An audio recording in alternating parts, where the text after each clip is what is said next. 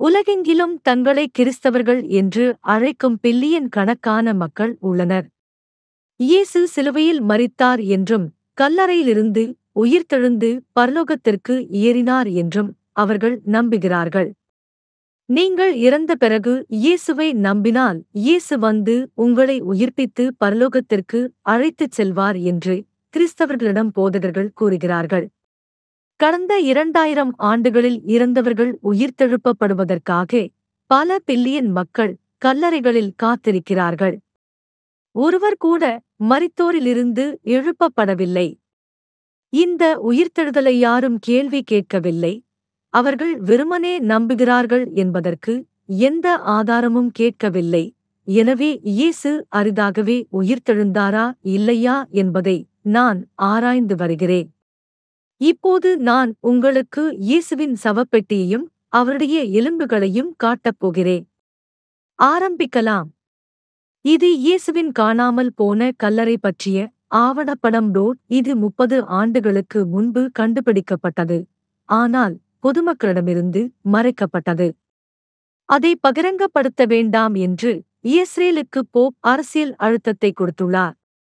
இது இயேசுவின் குடும்ப கல்லறையில் சிம்சா ஜகோபோவிசி எடுத்து அசல் ஆவணப்படத்தின் மொழிபெயர்ப்பு. அவர் இரண்டாயிரத்தேழு இல் ஆவணப்படத்தை உருவாக்கினார். ஜேம்ஸ் கேமரூன் அவதார் திரைப்பட இயக்குனர் இயேசுவின் குடும்ப கல்லறை ஆவணப்படத்தை தயாரித்தார். இது புரளி அல்ல மிகவும் உண்மையானது. அதனால்தான் அவதார் பட இயக்குனர் இப்படத்தை உருவாக்கினார். மத்திய நற்செய்தி இயேசுவின் உடல் எடுத்து இரகசியமாக அடக்கம் செய்யப்பட்டதாக கூறுகிறது. இயேசுவின் ஓவியங்களில் இதையே நீங்கள் அவதானிக்கலாம். நோட் பல தேவாலயங்களில். ஆயிரத்து தொள்ளாயிரத்து எண்பதாம் ஆண்டில் ஒரு கட்டுமான நிறுவனம் ஜெருசலேம் நகரில் ஒரு பெரிய கான்கிரீட் கட்டிடம் கட்ட தோண்டிக் கொண்டிருந்தது.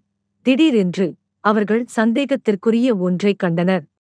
ஒரு சிறிய குகை கண்டுபிடிக்கப்பட்டது. குகைக்கு அருகில் குழந்தைகள் விளையாடிக் கொண்டிருந்தனர். குகையின் நுழைவாயில் கண்டுபிடிக்கப்பட்டது. யாரும் அசாதாரணமான எதையும் கண்டுபிடிப்பார்கள் என்று எதிர்பார்க்கவில்லை. பழமையான மற்றும் மர்மமான ஒன்று இருப்பதாக குழந்தைகள் பெரியவர்களிடம் சொன்னார்கள் ஆனால் யாரும் அதை பற்றி கவலைப்படவில்லை. குழந்தையின் தாய் இந்த விஷயத்தில் அதிக ஆர்வம் காட்டினார். அங்கு மிகவும் பழமையான கல்லறை இருப்பதாக தொல்லியல் துறைக்கு தெரிவித்தார். தொல்லியல் குழுவை அழைத்த முதல் நபர் ரிவிகா மாவோஸ் ஆவார். தொல்லியல் குழுவினர் கல்லறையின் நுழைவாயிலில் உள்ள சிறப்பு சின்னத்தை அடையாளம் கண்டு இது மிகவும் பழமையான மற்றும் சிறந்த கண்டுபிடிப்பு என்று கருதினர். மேலும் அவர்கள் விரிவான பகுப்பாய்வு செய்ய விரும்பினர். உள்ளே சென்ற குழுவினர் அதிர்ச்சி அடைந்தனர். இது ஒரு கல்லறை அல்ல அவர்கள் குகைக்குள் பத்து கல்லறைகளைக் கண்டனர். கல்லறையின் மேல்நிலை காட்சியைக் காணலாம். தயவு செய்து கவனமாகப் பாருங்கள் டோட் அவர்கள் உள்ளே ஆறு பெரிய குகைகளையும் பத்து சவப்பெட்டிகளையும் கண்டனர். தொல்லியல் குழு அனைத்து பிரதிகளையும் தேசிய அருங்காட்சியகத்திற்கு மாற்றியது. விஞ்ஞானிகள் ஆய்வு செய்து இயேசுவின் சவப்பெட்டியை கண்டுபிடித்தனர் டோட் அவர்கள் அதிர்ச்சியடைந்தனர். சவப்பெட்டியில் இயேசுவின் எலும்புகள் நிறைந்துள்ளன. உடனடியாக போப் இதை அறிந்தார் மற்றும் இஸ்ரேல் அரசாங்கத்திற்கு பில்லியன் டாலர்களை வழங்கினார். எனவே இஸ்ரேல் அரசாங்கம் இயேசுவின் சவப்பெட்டியை முப்பது வருடங்கள் மறைத்து வைத்தது.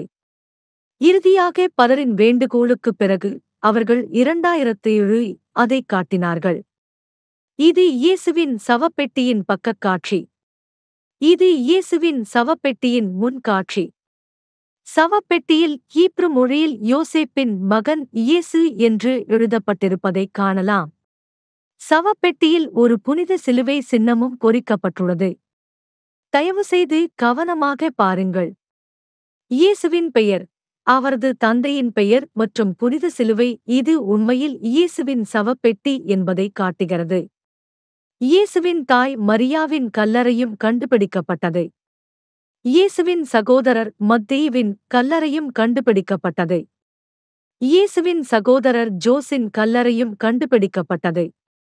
ஜேம்ஸ் சன் ஆப் ஜோசப் என்ற தலைப்பில் மற்றொரு சவப்பெட்டி கண்டுபிடிக்கப்பட்டது. அவர் இயேசுவின் சகோதரர். உள்ளே பிலிப்பின் நற்செய்தி அவள் இயேசுவின் துணையாக விவரிக்கப்படுகிறாள். சீடர் இயேசு மிகவும் நேசித்தார் மற்றும் இயேசு வாயில் முத்தமிட்டவர். இது அவளுக்கும் இயேசுவுக்கும் ஒரு உறவில் இருப்பதாக சிலர் முடிவு செய்ய வழிவகுத்தது. சில புனைகதைகள் அவளை இயேசுவின் மனைவியாக சித்தரிக்கின்றன. பிலிப்பின் நற்செய்தியில் அவரது பெயர் மரியம் என்று குறிப்பிடப்பட்டுள்ளது. இயேசுவின் மனைவி மரியம் கல்லறையை உன்னிப்பாக கவனிக்கவும். மேரி மக்தலேனின் பெயர் கிரேக்க மொழியில் எழுதப்பட்டது. ஏனென்றால் அவள் ஒரு கிரேக்க பெண். அவர்கள் இயேசுவின் எலும்புகள் மற்றும் மேரி மக்தலேனாவின் எலும்புகளில் தீனே சோதனை செய்து அவர்கள் சகோதர சகோதரிகள் அல்ல என்பதை உறுதிப்படுத்தினர். எனவே அவள் மனைவியாகவோ அல்லது காதலியாகவோ இருக்க வேண்டும்.